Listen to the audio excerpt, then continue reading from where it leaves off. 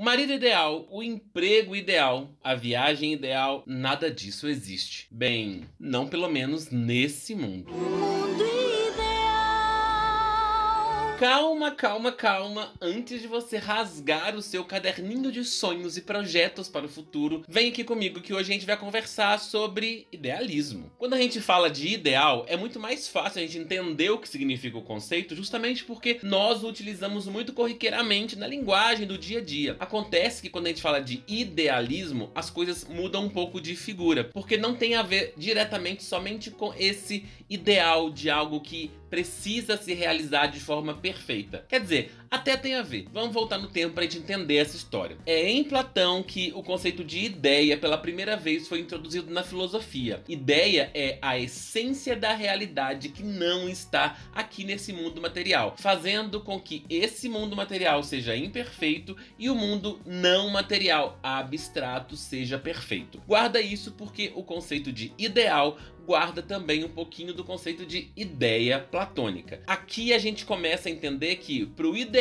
se sustentar e também, portanto, para o idealismo, a gente já chega lá, nós precisamos dividir esse mundo entre aquele que é perfeito e aquele que é imperfeito. O perfeito se encontra no nível do abstrato e o imperfeito se encontra no nível do material concreto. Aqui, todo ideal se sustenta por uma divisão da realidade, um dualismo, em que nós estamos no mundo imperfeito e não temos ainda acesso ao mundo perfeito. Entendido o que, que é ideia e o que, que é ideal, idealismo agora ficou bem mais fácil. É aquele comprometimento que se tem com o ideal, com a busca desse ideal e mais, com um balizamento da vida, das escolhas, da moral e também do pensamento, em outras palavras, da filosofia em relação e em direção a esse ideal, que não existe aqui agora e também façam que o idealista não exija que ele se manifeste de forma material e de forma imediata, urgente. Existem diversos tipos de idealismo e eles se manifestaram de diversas maneiras também durante a história. Porém, aqui eu quero separar dois mais importantes, que eu vou chamar de idealismo epistemológico e idealismo romântico.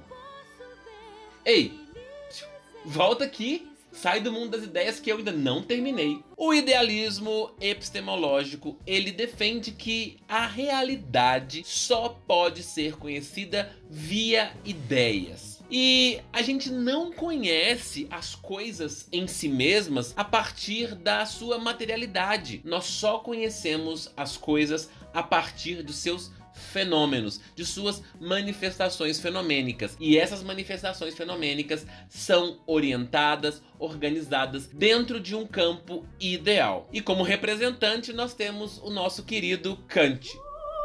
Não, não é pra cantar, não. É esse cara aqui, ó. De outro lado, nós temos o idealismo romântico, que é inspirado também um pouco no movimento que você já conhece pelas artes do romantismo, que acaba idealizando a realidade, percebendo que este mundo poderia ser melhor ou melhorado. A realidade, do jeito que é vivida, é desesperadora e só a idealização dela pode dar um pouco de esperança para o ser humano continuar vivendo. Porém, essa esperança é inalcançável e por isso o sofrimento fica ainda mais latente. A partir desse pensamento, outros filósofos tentaram entender a realidade via idealização de uma maneira um pouco mais voltada para a natureza, para os afetos e para os sentimentos. Nós temos o Schiller, nós temos o Fichte e nós temos no final dessa fila, já saindo até mesmo dessa romantização, o próprio Hegel. E o Hegel foi um cara responsável por fazer idealismo, mas abrir as portas para um outro movimento muito interessante